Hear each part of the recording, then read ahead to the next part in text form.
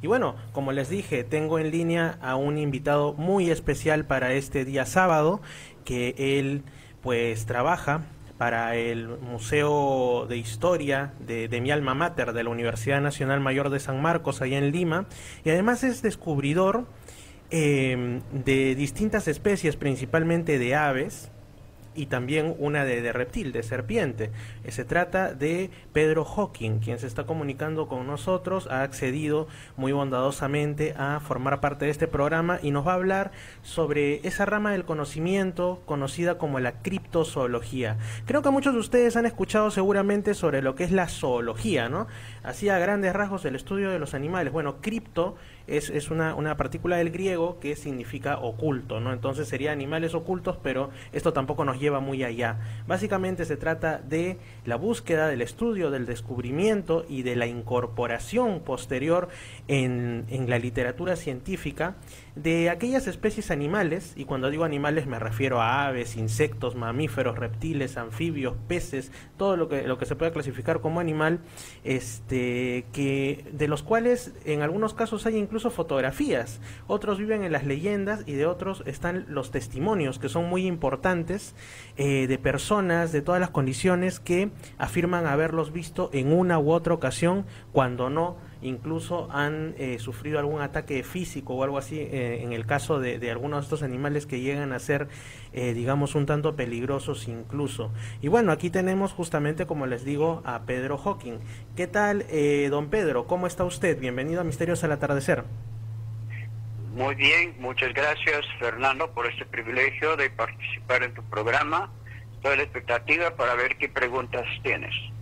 Así es, este, don Pedro, yo ya he explicado de una manera muy, muy sucinta, muy breve, lo que sería la criptozoología, pero quizá usted pueda ahondarnos más en este campo en el cual usted se ha especializado y ha realizado tantas contribuciones. Bueno, encantado, muchas gracias. Ah, como han oído, amados amigos, uh, cripto significa escondido o, o enigmático, también algo que no se sabe muy bien qué cosa es, ¿no? Algún ser ah, desconocido, no bien comprobado qué cosa es. Ahora, es, esta, la criptozoología ha llegado a ser reconocido como una de las ciencias científicas solamente en los últimos quizás 50 ah, años, porque antes ah, era rechazado por otros científicos porque decían que ustedes no tienen pruebas, solamente investigan leyendas. Pero uh, tomaron más formalidad cuando se formó la Sociedad Internacional de Criptozoología en los Estados Unidos. Interesante que un peruano fue uno de los del equipo de fundadores el señor Ricardo Greenwell, natural de Inglaterra, bueno, nació en el Perú, pero sus padres eran de Inglaterra, y él cuando fue a los Estados Unidos a estudiar y trabajar, y ahí se, como él tenía mucho interés en la criptofauna o criptozoología, llegó a conocer varios criptozoólogos serios en que hay en los Estados Unidos, y junto con ellos decidieron formar pues una sociedad científica seria que pondría los, los lineamientos para la investigación seria y comprobación científica de lo que se está investigando. Entonces eso ya lo dio más, más aceptación en el campo de los científicos, ¿no? Y uh, entonces eh, como él era peruano y se enteró, no sé cómo, que yo también estaba interesado en este campo y estaba hallando unas cosas muy interesantes. Ah, se contactó conmigo y me contó lo que estaban haciendo, me envió algunos boletines y me animó a escribir algunas, escribir algunas cosas que yo estaba encontrando según mi investigación de campo y así empecé a entrar en este campo. Interesante, señor Hawking. Y, cuénteme, bueno, a mí ya este, por vía interna, por vía de correo y también de llamada, me ha comentado sobre que, por ejemplo, esto de los animales desconocidos no está tan lejos de nosotros, sobre todo los que vivimos en la Amazonía peruana, porque, por ejemplo, me estaba comentando de las informaciones que tiene de que aquí, en la región Madre de Dios, existen dos animales, por lo menos dos, no catalogados por la ciencia de gran tamaño, de los cuales usted tiene testimonios, pistas y en algún caso hasta alguna fotografía. ¿Podría comentarnos cuáles son estos criptoanimales, estos críptidos que habitarían en las selvas de aquí de Madre de Dios? Sí, es muy interesante, Fernando. Ah, uno es un, tengo un solo reporte de un, lo que parece ser un ah, perezoso gigante, según lo describen algunos, que antes se conocía solamente en en, en eh, registros fósiles, esqueletos de estos inmensos animales, uh, que vegetarianos que andan sobre la tierra, no, no suben los árboles como otros perezosos porque son muy pesados. Y, uh, y después empezaron a salir, a ser reportado de que hay un, lo que parece ser un perezoso gigante que vive en la Amazonía brasileña y que varias tribus lo conocen como lo llaman Mapinguari. Y ah, yo me sorprendí con un amigo investigador de la fauna que, trabajaba con el Ministerio de Agricultura investigando por Madre de Dios. Habló con, me contó que él habló con una familia, una pareja de, de lugareños que cuando vivían en, norte Madre de sur de Madre de Dios, suroeste, cerca de la frontera con Brasil, una zona muy primitiva, poco desarrollado. Un día le sorprendió pues uno de esos animales que salió del bosque a su chacra y se asustaron, vino ese tremendo animal peludo que andaba sobre el suelo y a la la esposa gritó de miedo y vino corriendo el esposo con su escopeta y dio uno, uno o dos disparos al aire, asustó al animal que dio la vuelta y regresó al bosque. Y según la descripción que he recibido, debe ser perezoso gigante. Y uh, había entrado al territorio peruano desde Brasil. Entonces, el otro animal que tengo referencias para Madre, Madre Dios es un venado pequeño, tamaño un perro, ah, que ha sido fotografiado por científicos estudiantes de los mamíferos, cuando estaba haciendo un, un censo de qué animales habían por el río Los Amigos. Y ah, en sus cámaras captaron fotos de este venado de patas delgadas, bajito, Ah, y para comprobar qué tamaño era. Después tomaron fotos con la misma cámara que fotografió el venadito. Fotografiaron uno de los investigadores parado en el lugar exacto donde había estado fotografiado el venadito. Se ve las hojas igual, mismas hojas que con los que está alrededor del venado y se ve que el venado llegaría solamente hasta su rodilla, parado. Mm. Claro, como usted dice, era del tamaño de un perro doméstico. Por la selva de Madre de Dios. Eso en cuanto aquí, ¿no? Que es una de las regiones donde la selva es más profunda, por así decirlo, ¿no? Pero también me comentaba que en otros lugares aquí de la Amazonía peruana, eh, hay otros seres, otro, otros animales, si se quiere, aún más enigmáticos, aunque también más conocidos, ¿no? Porque creo que muchos hemos escuchado hablar de, de boas gigantescas de tierra, eh, e incluso se ha hablado de otro tipo de reptiles que se supone que hace buen tiempo deberían estar extinguidos de acuerdo a, a lo que se sabe por la ciencia. Este, pero usted ha tenido también información de la persistencia tanto de por ahí algún reptil antediluviano, algún reptil antiguo que ya contara, como también de la existencia de estas estas boas enormes. Sí, sí, hay, hay reportes. hay muchos de los expertos de, que he consultado, de expertos en reptiles, en boas, creen que no crecen más grande que quizás 10 metros o 15 metros máximo. Pero tengo varios reportes de confianza que creíbles porque la persona que me lo contó uh, me, me convencía que estaba diciendo la verdad y también cuando otros que no les se conocen entre ellos. Una cosa que tengo cuidado es cuando recojo reportes, uh, no solo les pregunto cuidadosamente cómo era, cuál, cuál fue la, las circunstancias y la, y la descripción del animal con que se encontraron, sino también uh, y, todo lo que puede recoger como un detective casi, ¿no? Así es. Y, tengo mis archivos, todos esos datos, esos reportes, pero cuando hay, o recojo reportes de más de una persona de confianza que tiene la misma experiencia, describe el mismo tipo de animal y no se conoce entre ellos para ponerse de acuerdo para inventar un cuento para impresionarme ya empiezo a creer que hay algo ahí. Claro, así es. Esto en cuanto a las boas, usted me decía que así como a la anaconda se le conoce como la yacumama, porque tiene cierta, cierta costumbre, cierta afición de entrar a las aguas de los ríos y por ahí esperar a sus presas, este, digamos que habría su contraparte terrestre, ¿no? Que sería una inmensa boa que se le llamaría la, la sachamama, si no me equivoco. Sachamama, La sachamama. ¿Cómo son estos reportes?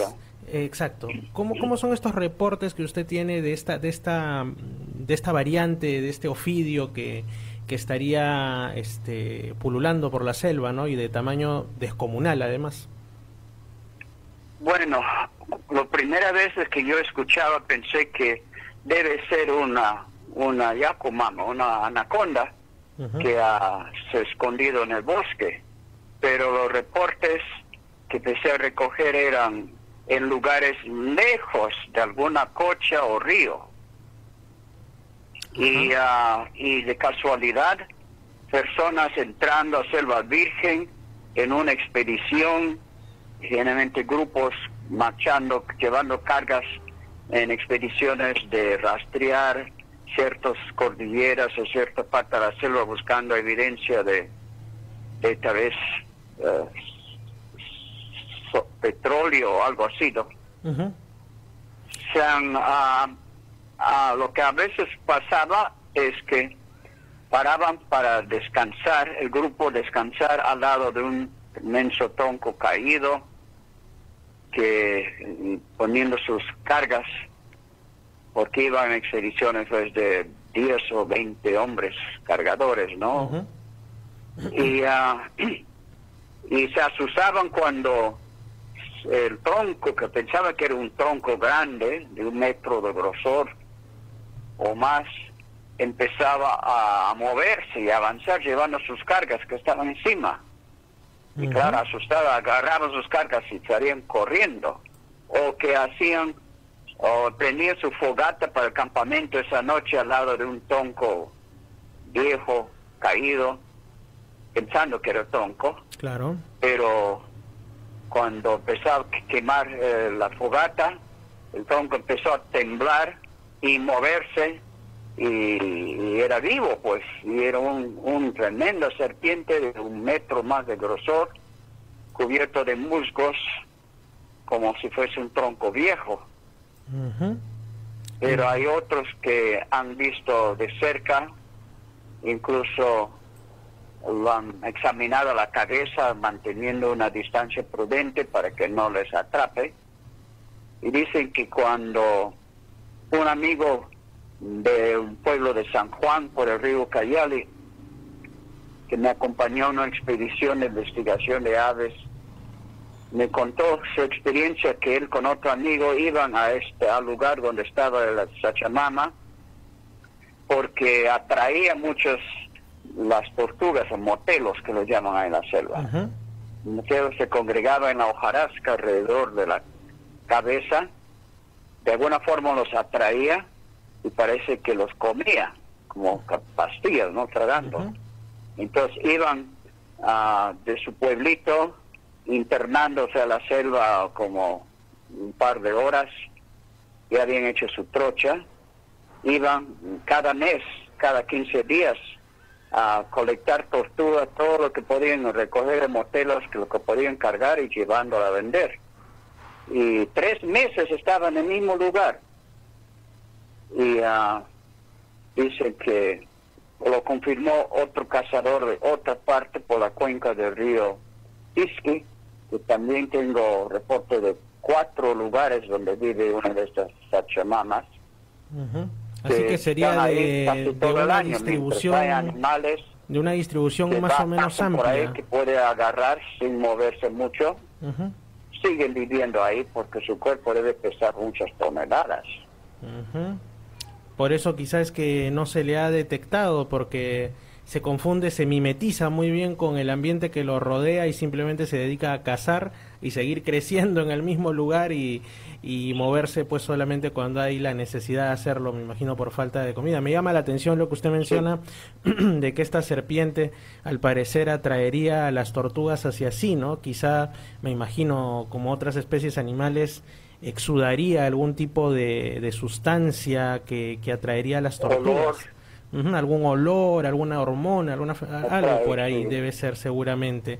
Eh, este, este es uno de los, de, digamos, de los críptidos más sorprendentes que habría en la Amazonía peruana, pero hay otros dos entre todos los otros que usted principalmente ha descubierto aves, hay otros dos que a mí eh, me resultan me resultaron inquietantes cuando usted me los contó, me resultaron interesantes más que inquietantes. Uno de ellos es un, eh, un simio que caminaría erguido, o sea, no estamos hablando de un mono que bajó del árbol y, pues camina como sabemos que caminan pues este tipo de primates. y el otro es lo que aparentemente, en sus palabras, usted me dijo que sería un dinosaurio, un superviviente de, de la etapa secundaria viviendo hasta ahora, ya habiendo evolucionado un poco más, este, más concretamente un saurópodo en, en las selvas amazónicas. Me gustaría que primero empiece, por favor, con, con, con, el, este, con el tema del dinosaurio y de ahí me cuente lo de, lo del, lo de este simio. Bueno, ha sido publicado y tengo el libro de una expedición que se ha hecho desde Norteamérica a la selva centro de África por el río Congo buscando fotografiar por lo menos un, un dinosaurio acuático uh, que, hay, que hay muchos de los grupos nativos que viven en esa zona lo, ven de vez, en cuando lo llaman Mokelemembe. Claro. Y, uh, y justamente el señor Ricardo Greenwell, secretario de la Sociedad Internacional de Criptozoología, uh, fue en esta expedición, participó, y como también el presidente, el doctor Macker. Y uh, tengo el libro que el doctor Macker escribió después con fotos y todo esto, y buscando pues este más pruebas, ¿no? De, de, respaldar esos rumores. Y uh, casi lograron ver el animal. uh, o fotografiaron en el libro las fotos de las huellas del animal, de una pequeña laguna donde había estado por una semana comiendo las plantas acuáticas, es vegetariano, eh, eh herbívoro, ese animal, que es casi tamaño de un mediano elefante, con cuatro patas, un cuello largo, cola larga, exclusivamente vegetariano y, uh, y los nativos de Nietzsche, si ustedes hubieran venido más pronto, los hubieran llevado ahí donde estaba una semana ahí en esa pequeña cocha comiendo las, las hierbas que hay por la orilla, pero ya se fue a otra parte y le llevaron y vieron el camino por donde había salido de esa cocha.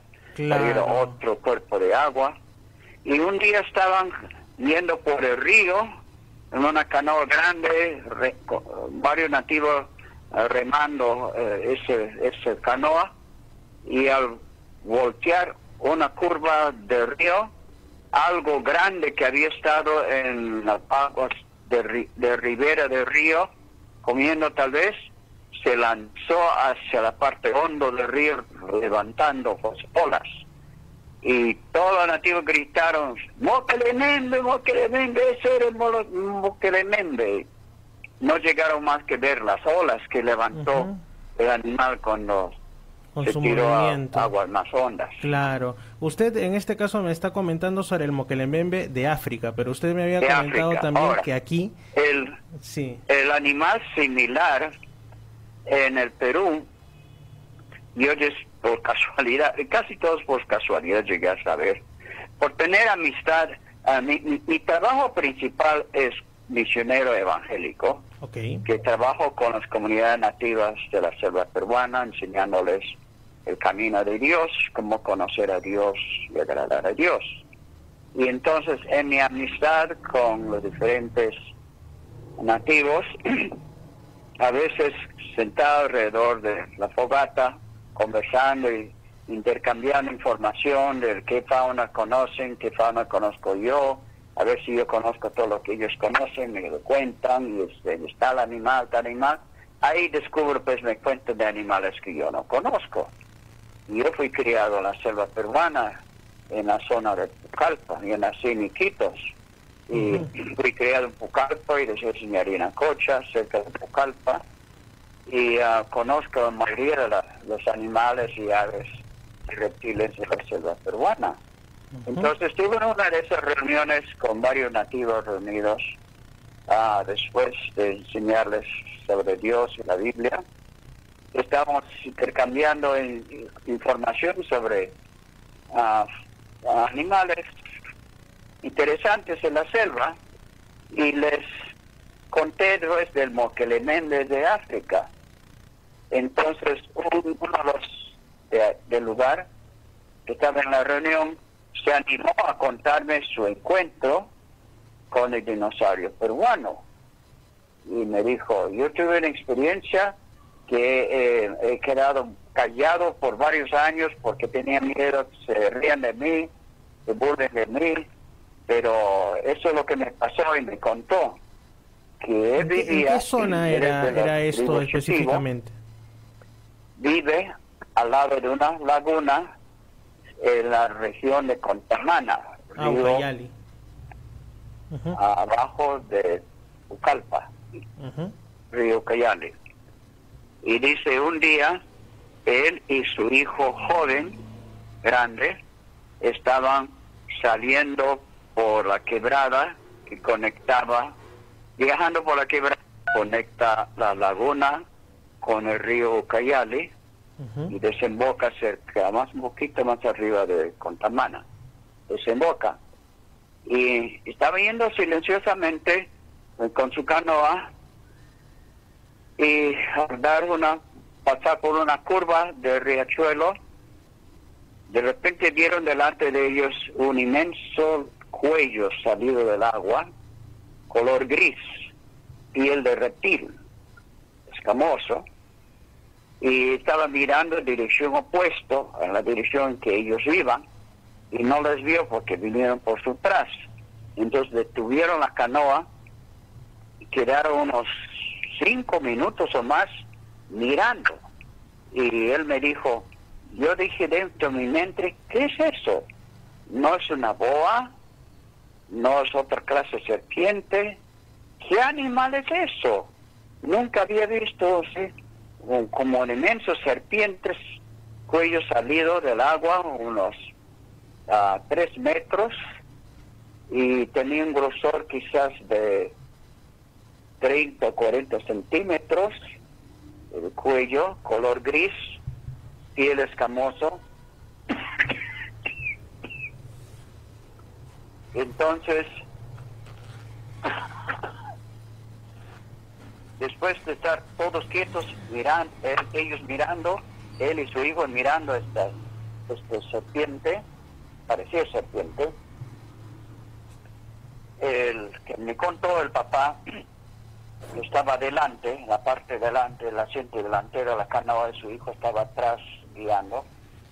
Él, papá, ah, se llama Lidio, él golpeó el levemente borde de la canoa con su remo, y con ese sonido el animal se asustó y se lanzó al agua, más hondo, buceando y levantando tremenda ola, dando a entender que tenía un cuerpo bajo el agua.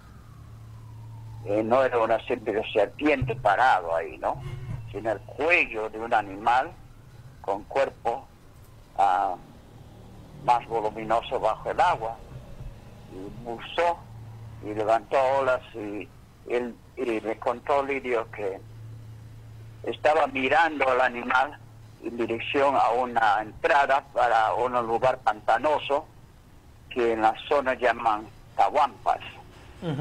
nadie entra ahí porque hay mucho boa y lagartos grandes y posiblemente ahí vivía ese animal.